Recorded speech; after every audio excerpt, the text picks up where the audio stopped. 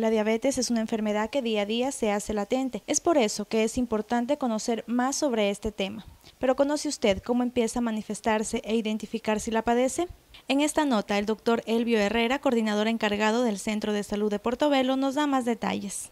Bueno, eh, enfocándonos en, el tema de la diabetes, para informarles que toda persona debe de saber cuándo está frente a, esta, enfermedad o qué síntomas puede presentar al, principio antes de, definirse como, diabetes.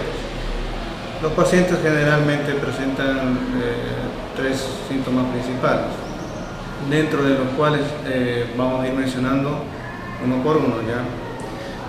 Eh, el primer síntoma sería pérdida de peso brusco, o sea, un, eh, paciente que esté pesando normalmente un, peso adecuado en, un periodo corto, puede ser de un mes o dos meses, que haya bajado el, peso pero de una manera brusca, no, no pérdida de peso en un periodo largo. Otro de los síntomas principales es la polidipsia, que es, eh, para que los pacientes entiendan, se puede decir que es la sed intensa. El paciente empieza a, ingerir agua, a tomar agua, que constantemente está con, sed, ese sería uno de los síntomas. Y otro de los síntomas es la polifagia, que el paciente empieza a, comer demasiado, constantemente le da hambre, un, apetito incontrolable se le, se le podría llamar. Luego de conocer si estamos siendo afectados por esta enfermedad, es importante tomar conciencia de que debemos llevar una vida saludable, ya que esta no conoce límite de edad y puede ser adquirida tanto por niños, jóvenes y adultos.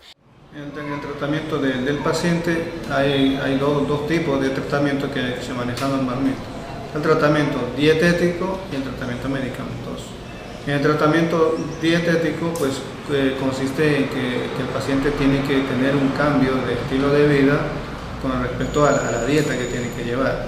Seis comidas diarias, o sea, las seis comidas no quiere decir que tiene que comer en exceso, sino en horas específicas tiene que llevar su desayuno, su almuerzo y su cena.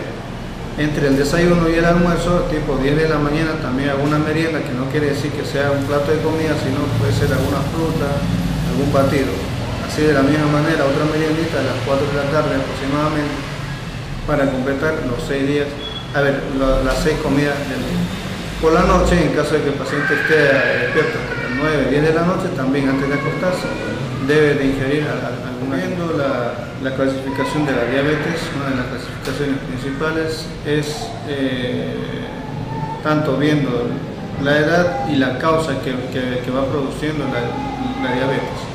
Bien se sabe que la diabetes es, el déficit de una, este, de, una hormona que se llama insulina. Y esta, insulina puede ser de causa primaria o de causa secundaria. La causa primaria se dice que es cuando hay, deficiencia debido a la, a, la, falta de producción, que no se produce en el, en el páncreas, en las células beta. Por la destrucción de estas, eh, ya no se produce adecuadamente la insulina, por lo tanto hay disminución de esta, de esta insulina y entonces eso es lo que, lo que va provocando la, la diabetes. Ahora, y esta, esta causa primaria normalmente ocurre en los pacientes jóvenes, hasta en los niños. En este caso ya se, ya, se llamarían diabetes mellitus tipo 1, que es específicamente de, pacientes jóvenes. Ya mencionamos que no hay límite de edad, o sea, los pacientes hasta niños pueden pasar de, este tipo. Diabetes tipo 1 es la insulino dependiente. El tratamiento inclusive solo es con con insulinoterapia. La diabetes tipo 2 ya sería más característico de los pacientes adultos, que ya no serían causa primaria, sino causa secundaria. Hay pacientes que constantemente, ya sea casi siempre por mal hábito eh, alimenticio, están ingiriendo, están alimentándose con, comidas o con sustancias que contengan bastante eh, alto nivel de azúcar.